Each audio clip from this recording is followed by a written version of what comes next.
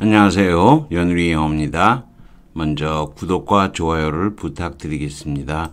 이번 시간에는 문법 사항을 알아보는데 뭐 네 번째로 다시 한번 나왔게 또 하는 겁니다. 다른 형용사에 우리가 형용사는 보통 비교로는 old, old 두번 나오지 않고 한 번은 old를 빼고 한 번은 she's as old as I 뭐 이렇게 나온다면 아, old는 한 번만 쓰죠. 근데 형용사가 다를 때 다를 때 두 번을 다 쓴다는 거예요. 음, 이런 것을 다른 형용사의 비교라 그럽니다.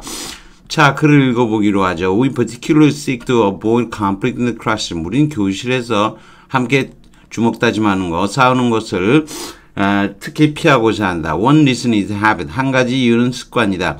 We are so accustomed to brandness. 우리는 온화함에 아주 익숙해져 있어서 그런 교실은 would strike us 이렇게 되는 거죠. strike us as 이렇게 되는 거죠. 그런 교실은 violation of polite rhetoric 에, 정중한 논법의 또는 그 교실의 규범을 위배하는 것으로 우리에게 여겨진다. 이런 뜻이 되겠죠. 스트라이크 특수 형식이죠. 특수 형식. 아하. 특수 형식 내려가죠. We are supposed to speak well of the, the disease. 죽은 사람에 대해서 잘 얘기하도록 돼 있다. 결국 probably we are supposed to maintain the same attitude.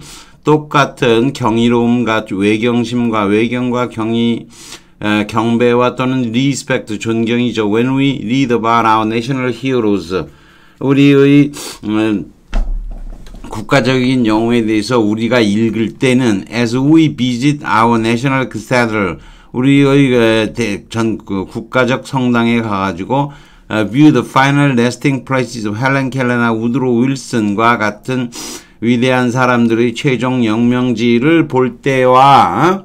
볼 때와 에, the same 거죠. the same, the same. 아, the same as죠. 요때와하고 똑같은 그런 태도를 유지하게 되어 있다 이런 거죠. 아, 그리고 이 헬렌 켈러나 우드로 윌슨은 에, 후죠. 후 후, 후아가 생략이 된, 후워죠. 후워가 생략이 된 거죠. 후워 as close physically in death. 여기 형용사로는 크로스고 여기는 디스턴트죠. 에, 이념적으로는 삶, 살아있는 동안 이념적으로 달랐던 것만큼 죽어서, 죽어서는 그만큼, 에, 육체적으로는 거의 유사되는 거죠. 죽으면 뭐 눈이 없었던 뭐 있었던 상관없이 다 비슷한 거죠. 여기 이제 as close as. 동일한 형용사가 아니라 다른 형용사의 필요죠. 하나는 as close고요. 뒤에서는 distant를 쓴 거죠. 요 distance하고 close가 다르니까 다를 경우에는 지우지를 못하고 as 쓰되 써주는 거예요. 빈칸 A에 들어갈 때는 특수 형식 strike us as 뭐뭐인 거죠. B에 들어갈 거 다른 형용사의 비교죠. 자, boldness, brandness, 온화함, 맛이 없음, probably we are supposed to maintain the same attitude 어쩌고 저쩌고 해서 the same as로 연결된 거죠. 우리가 성당이라고 하는 거 cathedral, cathedral인데 케타가 아래예요. 아래에 원래 헤드를 의자가 있다는 뜻이 안 아래 은 의, 아래 히 앉는 게 있는 거예요. 그래서 원래는 비숍 대주교죠. 대주교. 어, 주교좌 성당이란 말을 쓰는데 제가 뭐 대성당이란 말은 아는데 주교좌 성당이란 말이 익숙하진 않아요. 아무튼 이게 옛날에는 아래쪽에 뭐라는 거죠? bishop 주교가 앉는 자리가 있는 데서 온 성당을 대성당이라고 하는 거죠. 어, 대주교가 있는 곳은 대성당인 거죠. one reason 어쩌고 저쩌고 would 이렇게 썼는데 as 쓰는 거죠. 특, 수형 strike as의 표현이고 우드를 사용한 거는 이제 가정법 과거로 그런 교실로 의역을 한 거죠. David is Y erudite. He is X, X creative. X와 Y가 다 S예요. X와 Y를 모두 S로 바꾼 다음에 종속적으로 S를 접속사를 쓰기 위해서 앞으로 보낸 후 다른 형용사인 creative는 그대로 두는 거예요. 둘 다 똑같지가 않으니까. is as erudite as he is creative 쓰는 거죠.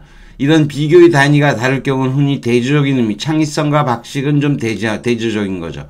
여러분이 창의하고 박식은 좀 대조적이죠.